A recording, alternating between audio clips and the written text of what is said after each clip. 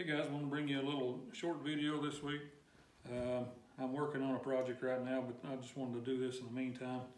Uh, this one is, I wanted to show you guys that may not know, uh, this little device called a kerf maker. It is extremely accurate for making dados. And the way this works, it helps you to find the thickness of your saw blade here uh, because it is extremely frustrating if you're trying to make a dado, trying to measure, offset, measure, um, and this thing really takes the guesswork out of it. And so the first thing you want to do is take a scrap block of wood, doesn't matter what size, what, you know, as long as it's just a square piece of wood, not, you know, cut at a funky angle or something like that, just square.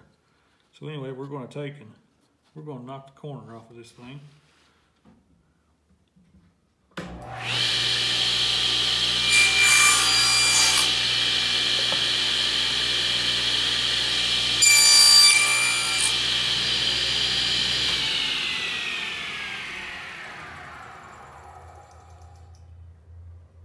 So, if you basically set it back in there like it would be before you cut it, you notice there's an offset.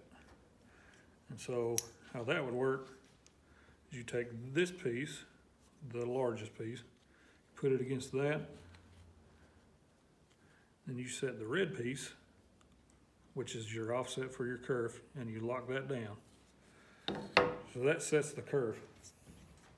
And you may have to go back and forth just to get it fine tuned.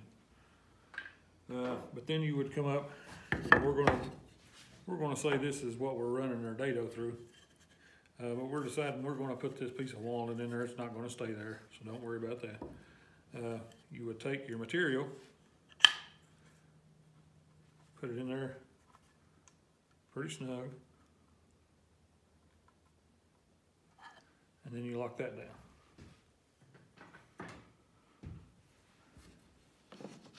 And then you decide where you want to run your dado through. And for me, I'll we'll start right there. Looks like a good spot. We want to make sure this blade is lowered back down to about half the thickness of the board. And it's easier to keep this over here. So our first cut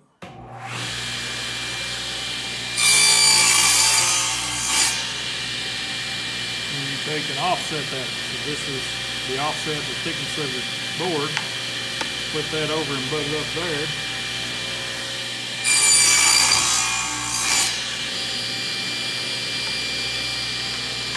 That should establish the thickness of your board. And then we just take and hog away the rest of this.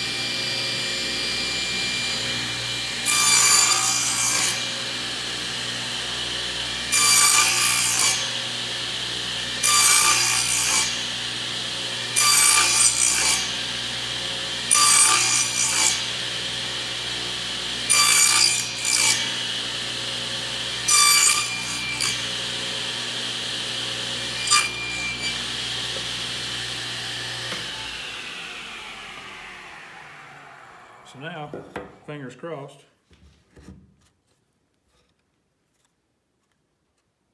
And that's dado. That one's a, a bit loose, but it's, you know, no slop in it. You can always adjust that with a, just fine tuning this part. And, uh, but yeah, for the most part, it's dead on accurate, you know, really no gaps. Although you can go in here with a router plane or a chisel and clean that up, make a flat bottom. So anyway, that'll be the video on this, and I was just going to pass this along. You can buy those at Amazon. Um, I could probably link the one I've used here. Uh, and I want to say a quick thank you to my subscribers.